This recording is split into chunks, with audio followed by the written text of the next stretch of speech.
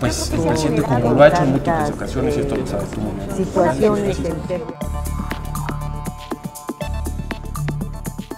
La epigrafía maya es el estudio prácticamente de eh, la escritura en forma gráfica. Eh, en este caso, por ejemplo, los, los egipcios tienen epigrafía, eh, los fenicios también tienen un tipo de epigrafía, pero es diferente porque es más lineal. Pero en sí, cuando tiene formas o gráficas, se le puede decir que es epigrafía. En el caso de los mayas, pues tenían un tipo de epigrafía que era silábica. Eh, muchas veces, eh, cuando no tenemos el, concepto bien definido de los mayas, siempre vemos los mayas, vemos los edificios, pero en el caso de su escritura, que es, eh, gráfica, son símbolos, cada símbolo representaba una sílaba.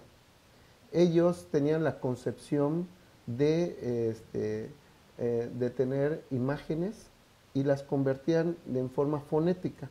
Entonces, por ejemplo, un ejemplo, pescado, que es, eh, ellos tenían eh, la palabra kai, pues la representaban como un pescado.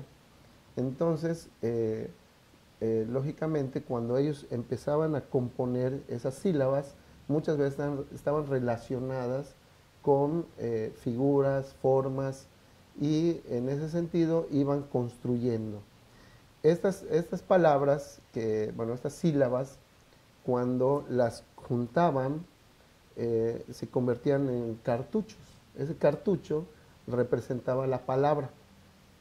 Entonces, eh, pues cuando se hace la composición de una palabra o una frase, es una eh, conjugación de varios cartuchos. Y ellos tenían una forma de construirla también, que era de izquierda a derecha, arriba, abajo.